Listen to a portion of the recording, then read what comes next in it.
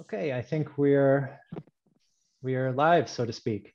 So welcome everybody to this discussion panel, uh, many perspectives on many analyst studies. My name's Nate Breznau. I am a postdoctoral researcher in social science at the University of Bremen.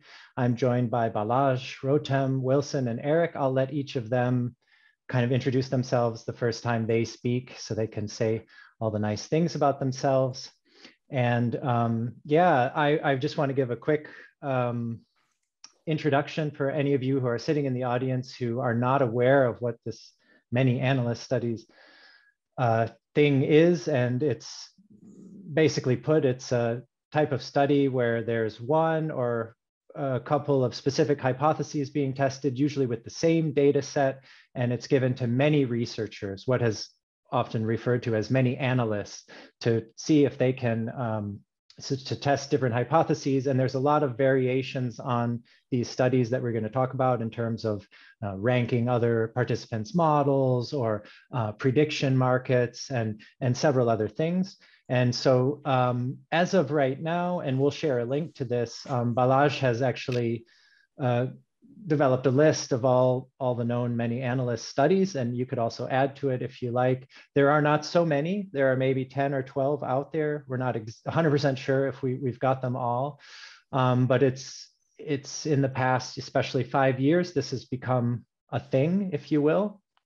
And in many ways, if I'm not mistaken, it was really kicked off by this famous soccer study or football in, in probably a majority of the world, um, which tested if uh, if referees were biased in their giving of cards to darker skinned players. And um, Eric was actually uh, part of that study. And so I think a nice way to kick this off is to have Eric um, tell us a bit about how that study came about and, and, and what that was like. So if you'd like to kick us off, Eric.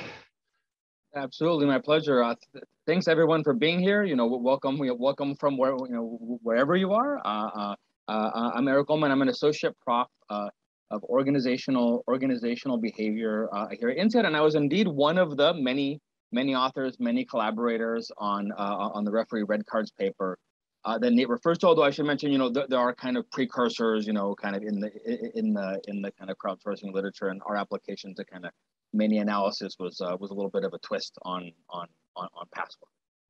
Um, I also really want to credit uh, uh, Raphael Silberzahn, uh, then PhD student, uh, who really uh, who really drove the project forward, and Dan Martin and Brian Nosek, also other members of the of the of the core team, and then also, of course, our many many collaborators, without whom none of it none of it would have been would have been possible. but the story of the referee red cards paper actually starts with a with an earlier small teams paper uh, this is an article that uh, Raphael and I did uh, um, when he was a student and I was a and I was a assistant professor. Where well, at least we thought we had found uh, in a large sample uh, uh, of from Germany that individuals who had a noble sounding name. So in German, their name kind of implies you know it's, it's, it means like duke or, or king or implies aristocracy. That such individuals were more likely to hold managerial positions. So you know, and we, we, we thought this was some evidence at least of some sort of maybe status halo effect, for example. Um, you know, so, so, we published a paper. Uh, it's a small teams paper. Uh, and then our, our, our data was requested by uh, Uri Simonsohn, of course, you know, very well known, uh, uh, very well known meta scientist and scientist. And, and Uri did a reanalysis of our data. He, he essentially did a, had a better way of collecting the data, collected much more data, and then also had a, a better specification, uh, a different analysis, but there was also a better analysis uh, we ultimately agreed. Uh, and then he found like, like nothing, like not a zilch. Like in fact, if anything, the effect is slightly in the other in, in the other direction. You know, so we actually ended up writing a collaborative commentary uh, uh, with uh, with Simonsohn, where we actually kind of replied to our own to our own paper. Uh, you know, so, so that's quite an unusual experience, I think. Um, uh, but it also uh, it also led to some quite good things. Uh, so let, led us to kind of wonder, you know, what would happen if we took another data set we were planning on using for a paper and, you know, we gave it to somebody else to analyze or maybe many someone else's to analyze, right? And so we ended up uh, uh, distributing this referee red cards data set, which we had been planning to use for a project, uh, to 29 teams of analysts around the world who at least initially independently analyzed it without knowing what each other was doing. Later, they were allowed to talk, but at the beginning, they weren't. Uh, and then you know turned in their specifications and results, right? And you know, and the finding was that uh, different different analysts, you know, in good faith, without much of an incentive to find anything one way or the other, chose different specifications and got really quite, uh, really quite, uh, quite different results, right? You know, so this this then you know became a bit of a line of research for us, and then it's exciting to see other folks interested enough in this, you know, to go through the effort. Uh, uh, you know, to uh, both folks here in the panel and then here in Spirit, right? You know, collaborators around the world, uh, you know, kind of picking this up and looking at, you know, is this is this itself a robust phenomenon, right? The tendency for many analysts to find uh, to find many different things. Yeah, thanks, Eric. So uh, it is amazing what what you and your colleagues have started. Um, open Pandora's box, you might say, and um, I would be interested to hear from Balaj actually at, at this point, who is um, doing some current work, but has also published work on sort of the the idea of many analyst studies and and and conducting them. So Balaj, would you like to come in? Yes, uh, hello everyone. I'm Balazs Aczel from Budapest, Hungary, and uh, we do meta research, meta science research. In fact, we just changed the na name of the lab to, to Meta Science Lab last week because uh, it was called Decision Lab until now, but we realized we just uh, moved on to meta science so much that uh, we have to rename ourselves. Yeah, so our story is that with uh. Wagenmakers, uh, we were, uh, you know, others were developing a guidance on transparent uh, reporting. And uh, at one point we, we got to multiverse and multi-analysis approach. And while I had some thoughts on how I would give advice on how to run a a many analyst uh, project, but uh, for multi-analysts, I, I, couldn't see how one can explain how to uh, set up the reasonable or sensible options for, for each step. So I, I assume the listeners are familiar with multiverse in that it's enough if one researcher um, uh, takes not just one path in the analysis, but uh, at each uh, step of the analysis takes all the reasonable options. Uh, so uh, this can uh, lead to a, a, huge number of results if you think there are five steps in the analysis and each time you choose five parameters. There's over 3,000, if you take p-value, 3,000 p-values at the end. And it's partly it's hard, I think, to evaluate the results in, in, in this way. And also, uh, how can you argue that these are all, these would be all reasonable? So how, my, our thinking was that what, what is a reasonable result here? And, and I think one definition can be that there would be a researcher taking that path, actually. There would be a researcher saying this is for me the most sensible one. So uh, many analysts approach take, takes uh, more focus to this dimension of the diversity that um, each analyst independently takes the path that uh, he or she thinks that's the most reasonable. And then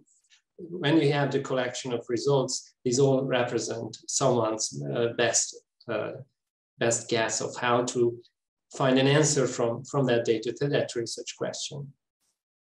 But then I, I got also fascinated by the history of this many analyst approach. I don't know if everyone is familiar with that. In fact, it goes back to the 19th century. 1857, the Royal Asian Society um, uh, wanted to get a, a new Asian, ancient Assyric uh, language cuneiform uh, script to be translated. And, and I think this, this example explains the, the, all the benefits of this many analyst approach is that uh, there was a linguist who uh, had a guess of what it could mean. But then if you publish it, then how, how can you tell that this is the, the right translation? It can be anything for a, a non uh, uh, scholar to that area would uh, have to say, I, I, I, have no other options than it, it, accept what the expert says. So in fact, they asked for um, experts to translate independently the same script. And then they opened the envelopes at the same time and uh, and uh, compared the four translations. And when they found that all the four translations were almost identical, then they, uh, they, they I can quote, they say, uh, they have the truth for their basis. So, so it's highly unlikely that they would get to the same translation, uh, just um, making it up or, or making some mistakes. So I think that's, that's the whole idea about uh, the many analyst approach. If the answers converge, then you, you can get more confidence that uh, what, what you have is not just an ad hoc interpretation of that data set. And when they diverge, then they uh, also uh, should be cautious interpreting the conclusions because uh, it might depend a lot on the identity of the analyst. And, and that's what I think currently we don't know about social science is how much our results depend on the, uh, I would say, the analyst himself or herself. Okay, this is two especially really interesting topics that I definitely want to cover about the, the multiverse perspective, but I think we'll pick that one up a little later. But more to this um, later point, maybe I can go over to Rotem in your study. Um, did you expect uh, convergence? Did, did you ex expect to find what Balaj is talking about? Because um, this is not what the outcomes of most of our studies have pointed to. Yeah, um, so I'm Rotem uh, Botvinik I'm a postdoc at Dartmouth College, uh, neuroscience, and I was part of the organizing team of NARPS, the neuroimaging uh, replication, uh, the neuroimaging analysis, replication, and prediction study. Um, and yeah, what we what we did was uh, we collected a new data set of fMRI with 109 participants, and we uh, distributed it to 70 analysis teams, and we uh, got their results for nine different hypotheses. And like Nate already said, uh, we got really diverse uh, answers from this. And I think one of our reviewers actually said it the best. He said that it was the results were both startling and not surprising at the same time. So I think, yes, I kind of expected it. I couldn't affect it, like I couldn't bias the results because I, I wasn't part of the analysis. The organizing team wasn't part of the analysis.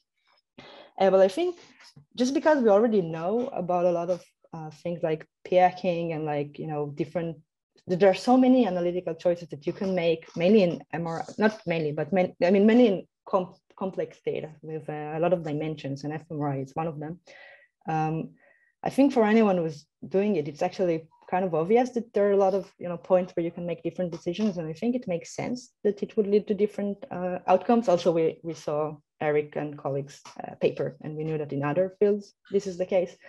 So I think I wasn't too surprised, but I was like seeing it, you know, just watching 70 teams, like all of our teams just made different, no two teams chose the same pipeline, the exact same pipeline. It was crazy. I didn't expect that, I have to admit. Uh, there aren't like, you know, um, common standards that everyone followed. So I, I, wasn't expecting all the teams to do the same, but I was expecting some clusters of teams to do very similar things. So I was surprised by that. And I was surprised by how different the results have been, uh, I, have to, I have to say. Um, yeah, and I think we can learn a lot from these studies. Uh, like Balazs said, it's not the same, like a multiverse analysis, you just, you know, a single analyst can just run many pipelines and see what happens. But it's not the same as making sure they're all reasonable and would have been chosen by researchers. And also this way we can see how the field really works, right? What's happening in the literature, because this is what people are using.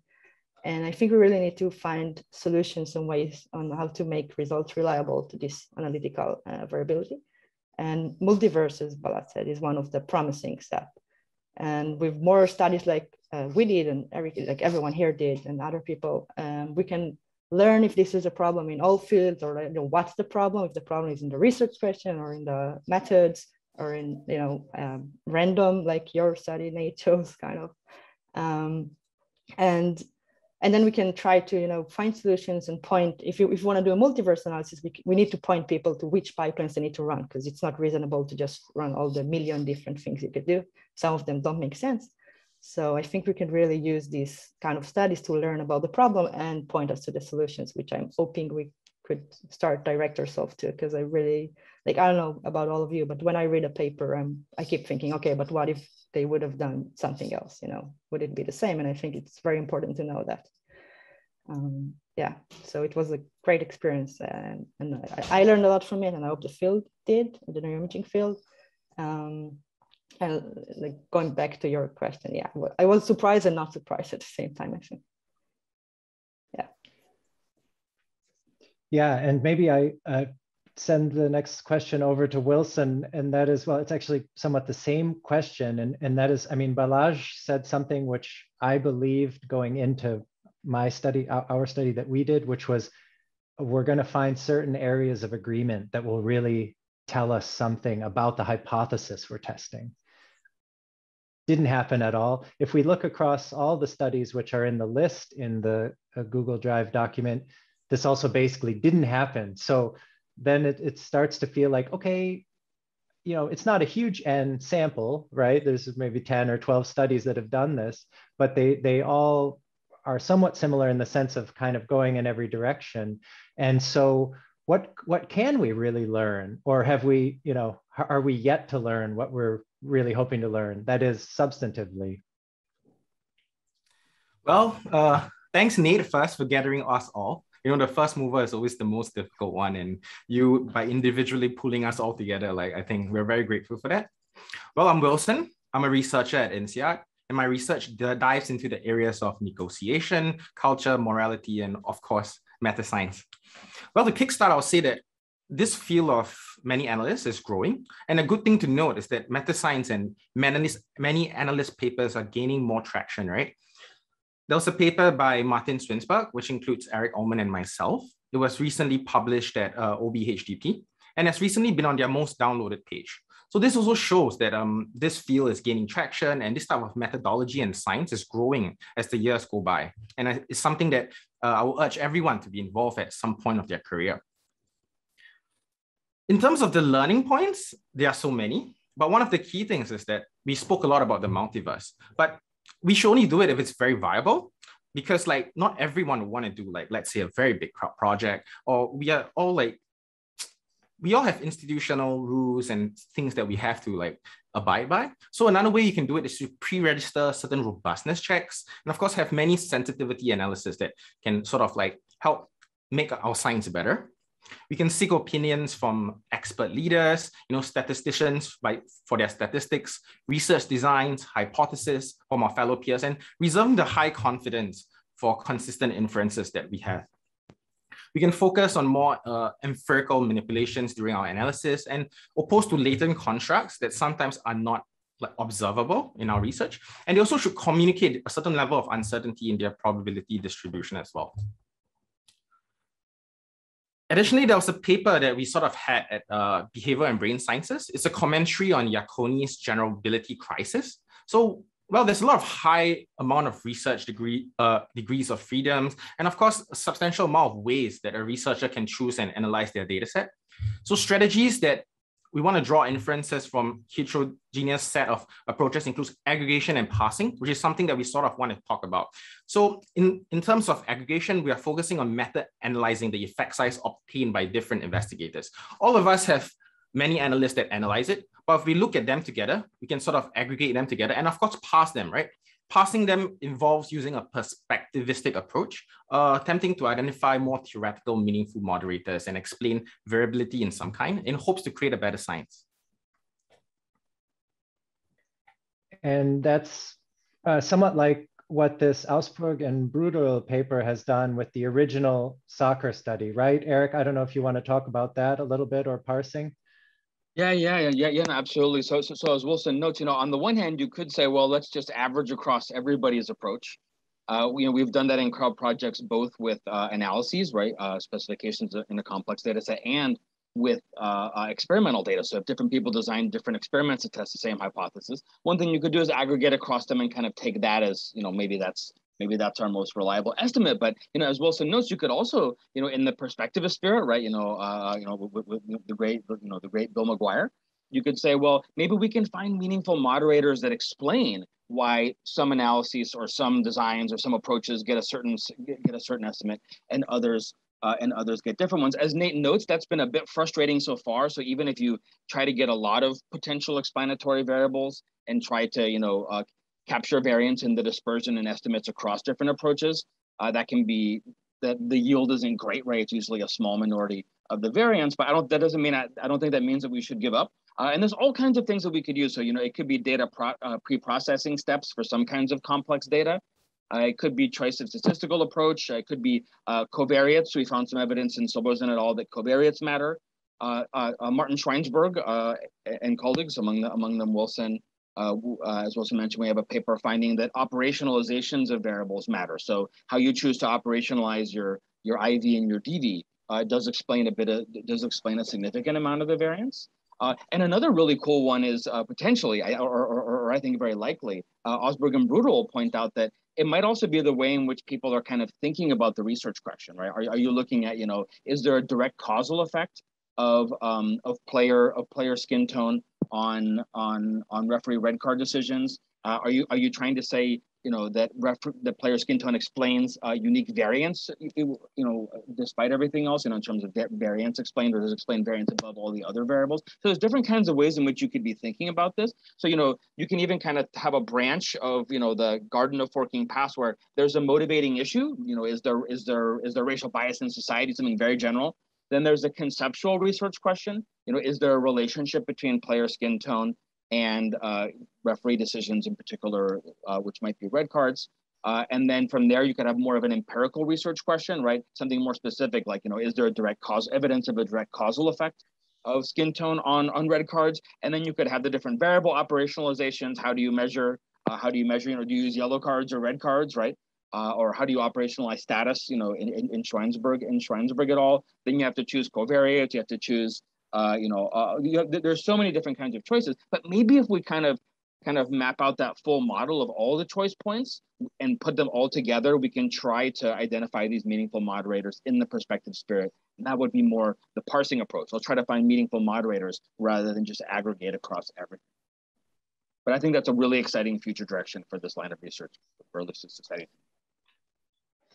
And so maybe for any of the other panelists, the, the question then that arises, at least for me, is do we need the many analysts then to give us this is what the analyst decisions might be, and then we could simulate them in the multiverse? Or do, I mean, it's obviously a lot less resource intensive to just go to the multiverse in the first place.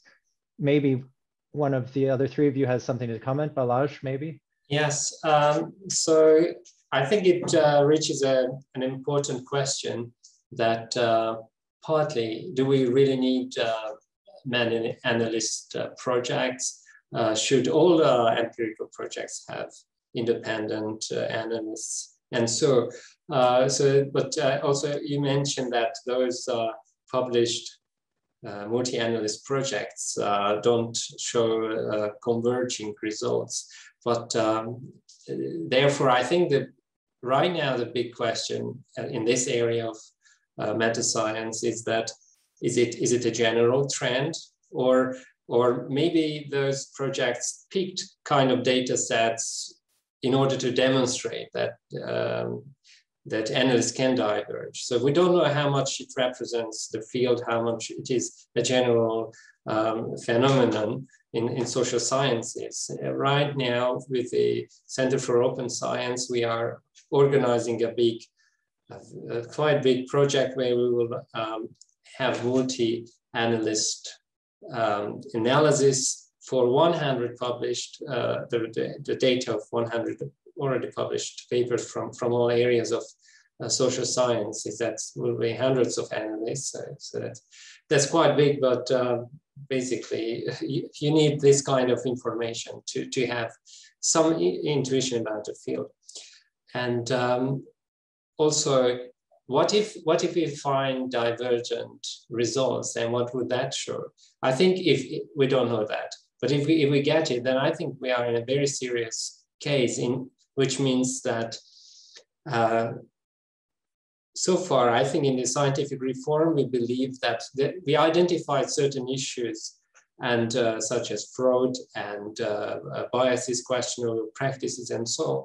And there is, I think, the hidden promise that if we get rid of them, then we can trust the results. But here comes the, the, the big issue with the, the many analyst projects uh, show that we call it analytical uh, uh, sensitivity or robustness question, whether even if a researcher can take all the steps carefully and have a well-powered sample for that design and to have the, the most advanced statistical approach and so, and, and doing everything transparently and openly and pre-registered. Uh, and the peer reviewer will say, yes, all the steps were legit, and so it should be published. But still, the conclusion can be quite arbitrary because another analyst can take another legitimate path in the we call it analytical space, and can come to a different conclusion. Therefore, if it is a general phenomenon, then we, we have to question the whole uh, empirical published literature, whether even if they give an impression of legitimate results and legitimate conclusions, these conclusions might have only a loose connection to the um, data that were gathered. But it all depends on uh, how much they are dependent or contingent on, on the analyst uh, person. And um, also, I think the other uh, issue comes up is that uh, why would, um, as you say, why not just do multiverse and uh, let the analyst true take these steps? But um, as the saying goes, that uh, most studies have the data analyzed by the worst person, the most biased person is the author who has investments in that theory or hypothesis and have certain idea what uh, he or she wants uh, to see. And um, uh, therefore, I think inviting uh, independent analysts, you invite people who are less involved in that question and less uh, biased, even if it's not a conscious bias, sometimes just being in the field or having papers published with certain results uh, pushes you towards certain steps. So um, I can't see how you can uh, bypass this kind of bias uh, by allowing the researcher uh, take all, all, the options. You, as a reader, you will still can have doubts whether uh, these were somehow led by the, the analyst's interest. So I think, I think um, whether uh, we are dealing with a huge issue is still a question, but if it is, then, then uh, we will have to have some general approach to, to deal with that. Otherwise, we are lying to ourselves that we believe in uh, published conclusions when they might be extremely uh, contingent on, on the concrete analytical path that the, the analyst took. Uh, so, but you asked first, I didn't answer. Yes, we, we developed a guidance which by which we try to simplify the task. Anyone who tries to run a multiverse analysis, uh, we hope that soon it will be published, we're preprint available.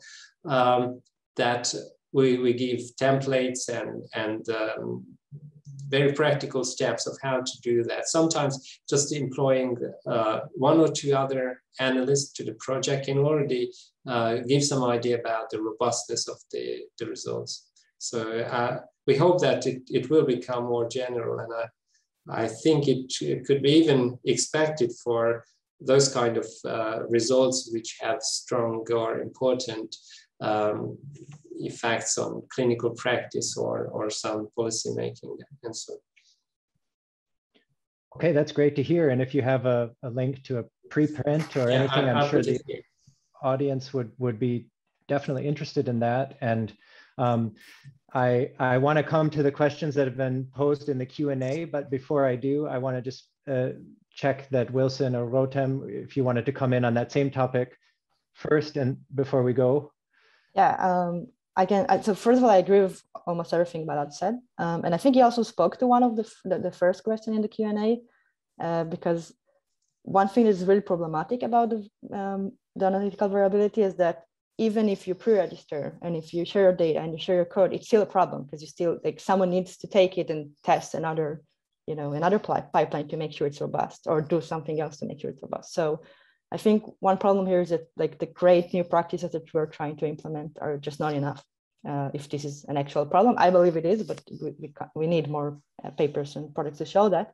Um, and another thing uh, I want to touch on is that, so I'm trying to think about like the future and what's practical. And it doesn't seem like it's practical to expect every single study to have multi, you know, analysts. Um, so trying to think about what maybe should happen or could happen is that maybe within each field we could have multi-analyst projects like we like we starting to have and uh, trying to um, quantify the problem and make sure you know see if we have it or not and if we do learn about it and try to see which steps are you know very different between people or which step um, derive the most variability and then we could based on this we could um, like start to focus on multiverse analysis or something else that would use this information to actually build like new solutions a new way to do research in a single lab um, uh, level so for example in fMRI, you know, each pipeline takes a lot of time. It's really uh, demanding computationally. So I wouldn't expect and every lab to be able to do like thousand different pipelines. But if we can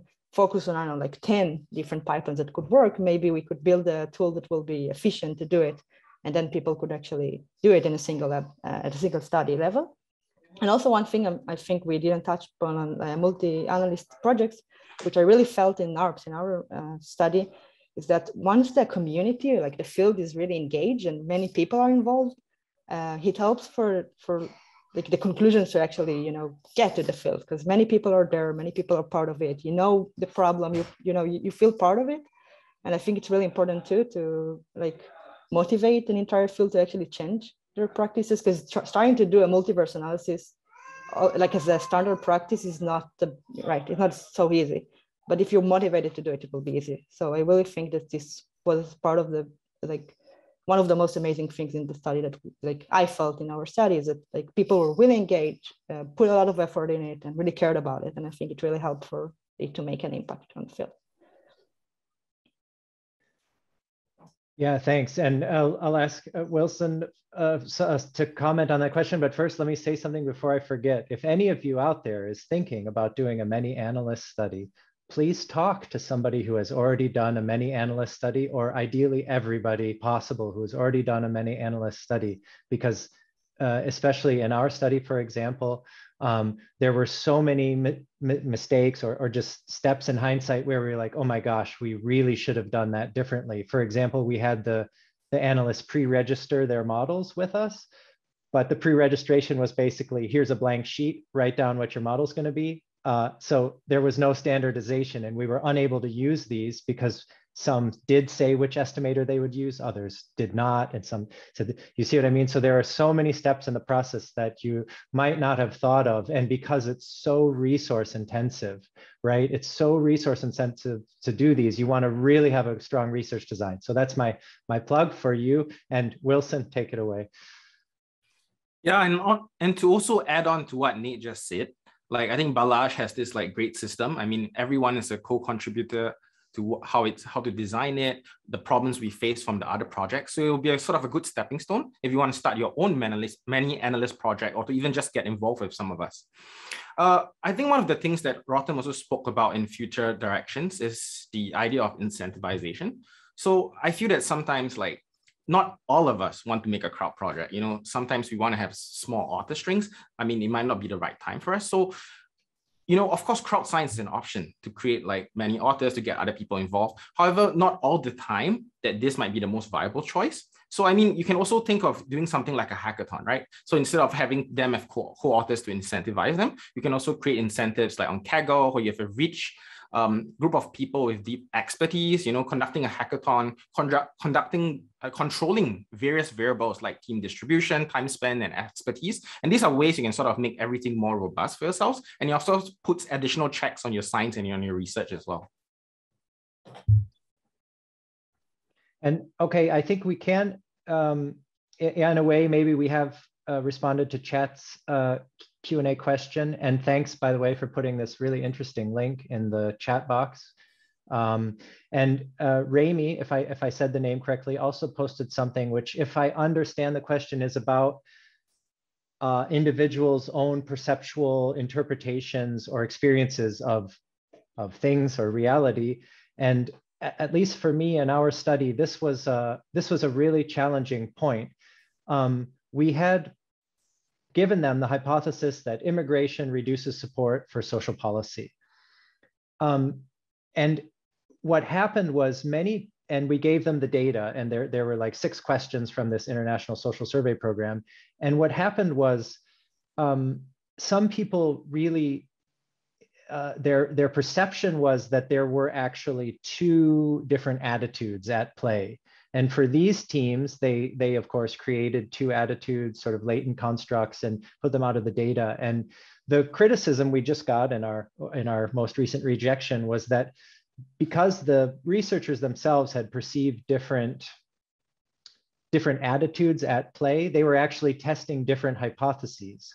So even though they had this kind of same very general hypothesis and the same start data, that because of their perceptions or their own concept, that they were actually testing different hypotheses and that this sort of undermined the whole the whole thing, you know? And this brings up this interesting question like, um, the link between hypotheses and models you know are, are these uh, are these analytical you know freedoms these garden of forking path decisions are these really degrees of researcher freedom or are we wandering into different hypotheses and is that part of the thing that is mucking up the results so to so to speak I don't know if that answers your question directly, Rami. I am not familiar with many of the terms in this. I don't know if any of the other panels panelists are.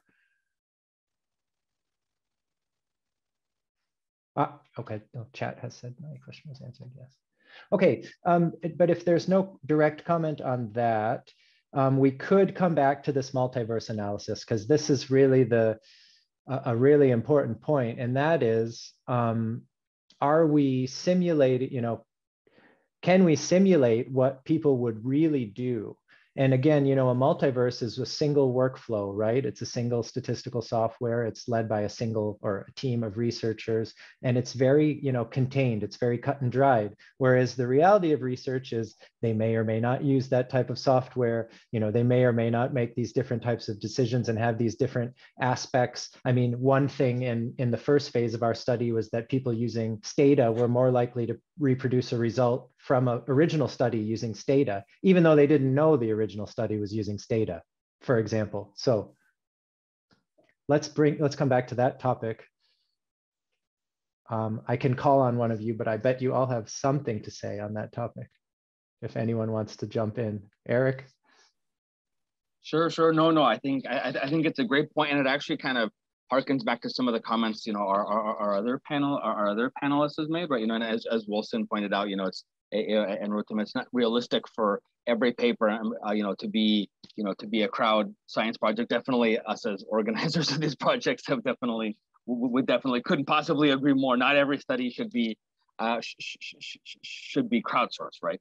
Um, I, I, I think you know that kind of an effort is most justified when you know there's really high theoretical stakes or really high practical stakes right? Something with public policy implications you know for example you might be justified in using a crowd approach. But i think most investigations will remain small teams and you know and should right? Because that's a more efficient way to introduce uh, it, you know, initial, sometimes pretty good initial evidence uh, for an idea, and then only I think the most really high stakes unresolved questions uh, really kind of are worthy uh, uh, of the of the cloud approach. But still, some of the same ideas, some of the same spirit, right, of, of wondering how uh, many analyses, if not many analysts, you could still see that kind of being introduced more and more uh, into uh, into small team science, which, which I think you already are. Uh, it could be multiverse, right, where you know one analyst lays out all the defensible specifications that she can kind of imagine, right, and then kind of crosses those those choice points. It could also be uh, you know, a lot of pre-registered robustness checks, not going so far as a multiverse, but really, you know, pre-registering a bunch of different proper uh, proper tests uh, uh of the analysis in your eyes. I think it's also worth noting that, you know, the crowd and multiverse are, so the crowd analysis is both less and then more, more and less uh, uh, than the than the multiverse, right? So the multiverse captures all defensible specifications from the viewpoint of somebody usually high in expertise, right? Whereas the crowd analysis really gets at a different question, which is what would the results look, what would the analysis look, look like and what would the results look like if another researcher analyzed it? You know, and these are kind of different questions, right? Meaning that there might be um, uh, some specifications that, you know, a top expert wouldn't have picked for the multiverse, but that a crowd analyst might pick and that might pass peer review and get into the literature, right? Uh, because you know, the, you know, not everything in the literature is the most solid, is, is, is the most optimized analysis uh, analysis possible. You have a greater diversity of opinions, right? And you know, and, and, a priori beliefs. Uh, you know, so, so, so, there's value to both, I think, but there's different value. One of them certainly is much easier to do. Uh, you know, if, if you're relatively if you're relatively more uh, more resource constrained. In addition, I think you can also think of blending the two. So uh, uh, in, the, in the paper that Wilson was on, also led by our, our colleague Martin Schweinsberg, um, what we did was a multiverse that was based on the choices of the crowd analyst. So first we did the crowd project uh, using a complex data set on scientific debates. Um, you know, we looked at effects of gender and status on, you know, who participates in, in, in scientific conversations. Uh, and then um, the, the we followed that by doing a multiverse that was based not on all the defensible specifications, but on the choice points that were, that were used by the crowd analysts, right? And this can help us try to, and that was our approach to the parsing problem, try to explain how it is, uh, why is it that the crowd analysts are getting different choices? Well, let's cross all of them and try to kind of uh, decompose it uh, as best as, you know, as best as we. Uh, so I think they're, they're both hugely valuable in different kinds of situations. One's more scalable, uh, but I think they both have value yeah the scalable thing is is i think a really important topic now uh, there's a hand raised but i'm not sure if the attendees can actually ask questions so okay we've got we've got you live adam if you want to ask your question I, I don't know if you're if that was intentional with the hand raising adam are you with us Hi, sorry, that was intentional, but it was a signal to the host of the session rather than a question. So I will now lower my hand again. Sorry for the interruption. Oh, no problem. If you come up with a question, feel free to ask it at any point, and anyone else in the audience as well. Um, okay, so um, we've covered a lot of ground. So um, one other concern that I personally have, which I'll, I'll introduce, is in our study, we were able to identify over 100 um, specifications that different teams made, and, and, that included things like what software they use, if you can call that a specification. Um, so given that, we would have needed, without any interactions or anything, probably a thousand teams to really reliably recover, you know, to not just have empty cells everywhere, you know, when we try to explain what specifications led to what outcomes. So essentially, I mean, this is highly problematic, right? We, we don't actually have enough. This is also where the multiverse could come in to try to fill some of the ground. But then again, we have the, the, the issues which have just been discussed. So, um, and I know like fMRI data, if you if you want to get nitty gritty enough, you could have it be so complex as well. Again, I'm not the expert, but you could have so many uh, features to the data that the specifications just blow up exponentially, right? And so then the question is again about scalability. And I don't know if any of the panelists want to come in on that topic specifically. Yes, I, if I may. Um, so I think um, what uh, is scary is that the complexity of reality and the, the, the, complexity of these questions that we are dealing with, that uh, it, they were complex enough before uh, multi-analyst, uh, from a multi-analyst approach, we looked at them. But if you look at them from that perspective, uh, and you see how uh, wide the analytical space can be, then then it get gets quite scary because as you mentioned, you would need so many teams to understand one single question. Um, so the I think the real question is then then what to do what to do then uh, should we just say, all right, that's too, too much effort, then let's just forget about it and let's have one answer to that question throughout one analytical path, or, or stop thinking about maybe we are too ambitious with our designs and research questions and we try to squeeze into one uh, research study some, some very big question on, on some uh, very complicated and complex data set.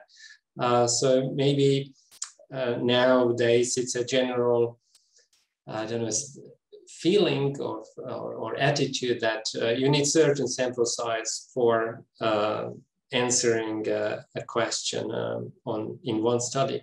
So maybe in the future, uh, it will be not just the sample size, but also the match between the complexity of uh, the analytical pay, space and the, the effort that you put in. So if, if it's a very complex uh, and, and uh, wide um, analytical space, then maybe you should go back to the, the drawing uh, desk and, and, and redesign the experiment, uh, simplify or, or uh, work on the theory and, and have a more uh, precise description of your concepts and so on, or put more uh, effort in exploring the robustness of the, the, analysis.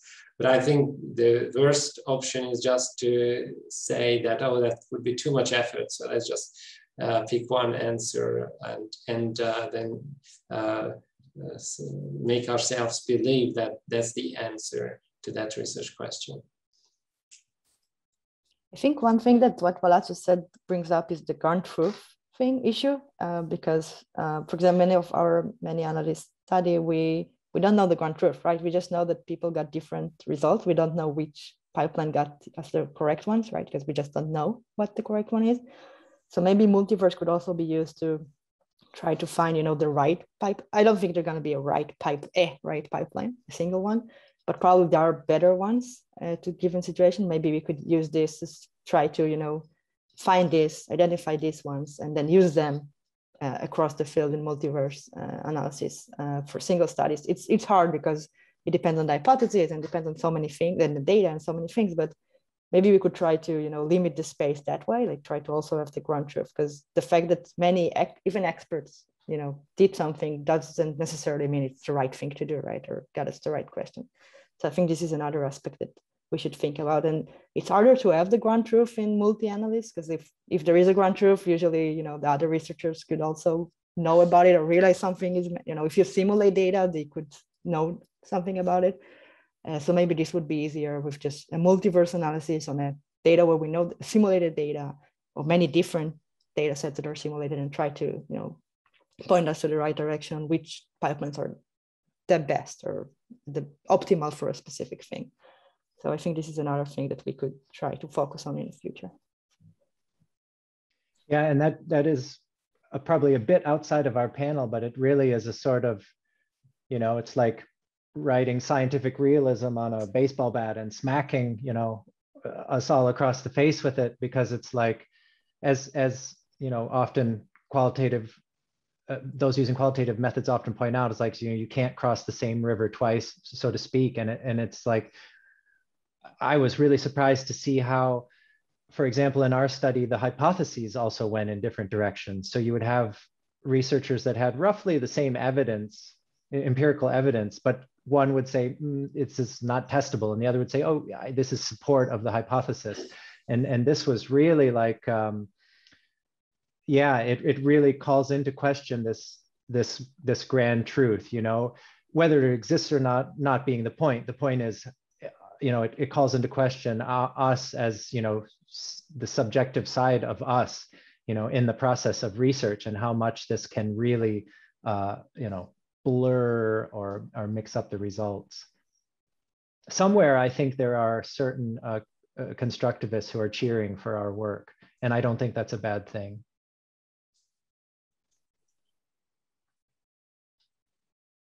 Yeah, Eric, sorry, yeah. Oh, sure, sure, sure. So, so I, I, I had a couple thoughts, uh, a couple thoughts there. So, so I'll, I'll make kind of two. I'll contradict myself a little bit. Uh, but I'll say I'll, I'll, kind of make two points. So the first would say, you know, on the one hand, you could say these many analyst results are really quite, you know, disturbing in that, you know, as Rotem and others have pointed out, even in the absence of p hacking or any incentive to get a particular result, and even if you were to pre-register, different analysts in good faith will choose different approaches and get and get different results. That said, though, you know, you know, we have that, you know, that wonderful compilation right in the in the link in the chat. Uh, we do have to also have a relatively small sample of studies, so we also have to be careful of this, and also careful of selection biases. Folks might tend to run many analyst studies on data sets they anticipate being complex enough for that to be worth it. You know, if so, then we might have oversampled relatively more complex data sets. Although it's also worth noting there's data sets way more complex than the ones uh, than the ones that we've used. Uh, it's also worth noting that um, so I'd be very, I'm super excited to see what Multi 100, right, uh, uh, uh Balazs's project turns out when you sample more systematically. How big is the spread of, of, of dispersion of estimates across different analysts, you know, for the testing the same hypothesis on the same data? Um, it is worth noting that the subsequent papers have found more, distur- more dispersion of estimates than the original uh, referee red card paper.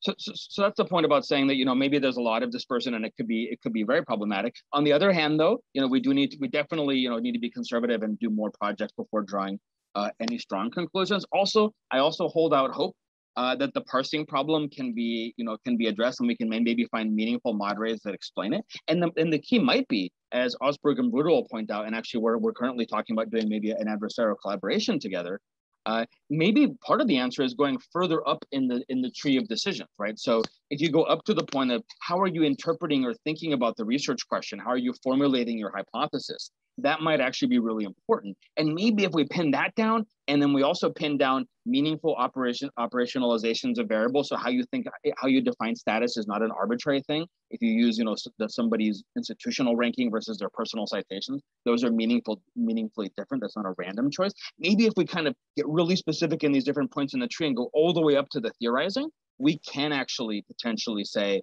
yes, there is an answer to a question when it's asked in a very, in a very specific way. And if that specificity is drawn from theory, then we kind of do have an answer potentially even across uh, even across multiple analysis. So on the one hand, I think it's scary how many how how different the results can be, even with a lack of perverse incentives, and say even with pre-registration. On the other hand, I do hold out hope that you know in the perspectivist spirit, we can identify meaningful moderators and find these pockets of coherence that that are answers to specific theoretically meaningful questions.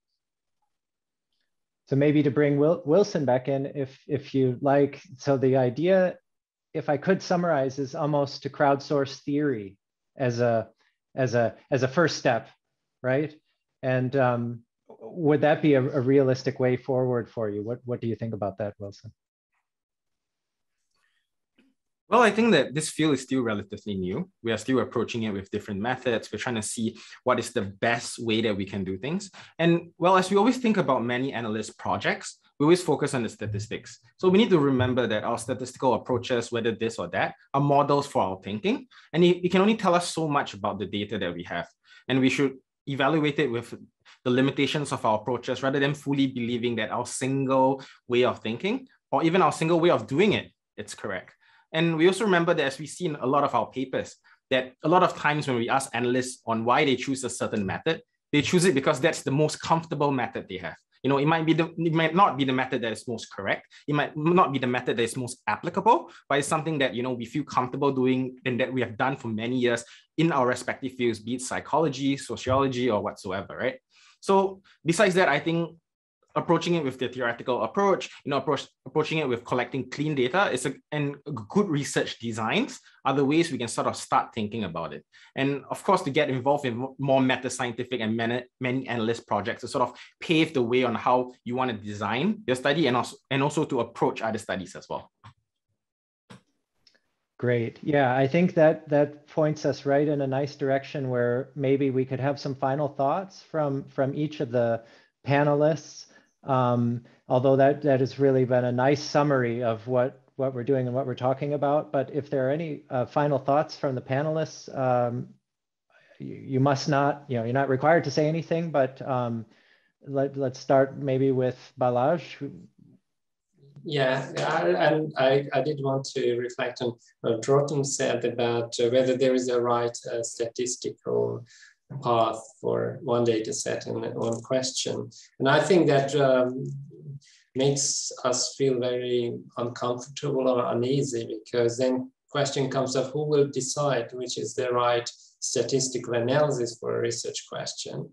Uh, and one answer can be that we should just uh, embrace diversity and, and uh, accept that there is not one uh, in answer to a question. And there can be different approaches and from different perspectives, there can be different interpretations. But also, uh, I think most of us would uh, accept that there are certain approaches or analytical uh, procedures which are just mistaken. Sometimes, and uh, not rarely, the researchers would admit it if they uh, looked into it because analyses are complex and one can make a mistake. By the way, any analysis approach can also bring to the surface when there's a big um, discrepancy that maybe one can find in the uh, code the mistake that made. But also at one point they, they will just never agree on certain approaches. So uh, I think uh, this is something we have to accept in science that while there are certain uh, ways that may be completely wrong, uh, we agree, but also there's a huge gray area where uh, there won't be any authority telling which approach is the appropriate one. Uh, right now, since there was only one analyst and uh, published one path, then we take it as the right approach. But but uh, we have to live with the truth. I think that there can be the, uh, different approaches to the same uh, question and same data set. And uh, if they, they converge, then, then they can give us uh, confidence uh, to a level. But uh, this is just not, not a kind of science, I think, where we will ever be really confident about our conclusions. Okay, and with five minutes left, um, Eric, I don't know if you have one or two minutes of comments, and then I'll pass it over to Rotem to have a final word. I, I, I, think these are all great points. Uh, uh, one thought I had was that, you know, it might be worth thinking about rather than, you know, which analysis is better, it might be worth thinking about, you know, which are the which are the ways of thinking about the problem that are meaningfully different, and can that potentially meaning that if if folks are, are, are essentially asking different questions or thinking about the question in a different enough way that it's almost a different or, or, or that it kind of is a different question, uh, I think that could be a really key uh, uh, choice point, right? As Auspurg and all point out. So rather than say, you know, one way of thinking about it is better than the other, we might just try to capture again in that perspectivist spirit. What are what are the kind of major ways of thinking in which people approach a problem, and then what are the answers that follow from that? Is there coherence within those, or more specific questions, or is there not? Right.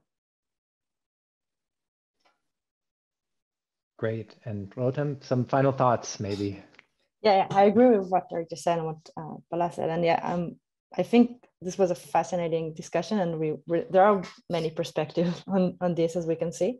But I think we also converge to some things that we think you know we need more studies to see how big the problem is and whether we had a bias in the current studies or not. And we need you know more ways to uh, to parse, like we said, to to parse the the, the, the, the process of analyzing the data and see where the variability comes from and we, which steps are meaningful, like Eric just said, and, and try to see what we could, like, I think the tension between what theoretically would be best because science is so complicated and, you know, there's so many things that affect the results, what would be the, the ideal way to do it and what would be a practical way to do it. And I think this tension needs to be, you know, we talked about it a bit and we really need to, to find a solution to this, like to find something that can actually be done in a single study at a single study level and see how we can deal with that. And yeah, I'm really excited about the new project and looking forward to see where we're going with that. Great. Well, thanks again, everyone, for coming together and including the audience. And um, yeah, it's been a great panel. I think we're basically right in time. I assume that the chat will be accessible along with this recording because there's a lot of useful links in there um, but please correct me if I'm wrong. And uh, thanks to the Metascience uh, conference organizers. It's been a great conference uh, so far. And so I think we can stop there. Yeah. Thank you. Thank you, Nate, for moderating. Thanks a lot. Thank you, everyone. Thank you. Thank you. Thanks so much, everyone. Whatever. Panelists, attendees, organizers. Thanks, everybody. Whatever Thanks time zone you're in. thanks to all the many collaborators, you know, on all these projects uh, here in spirit, and, and thanks and thank you.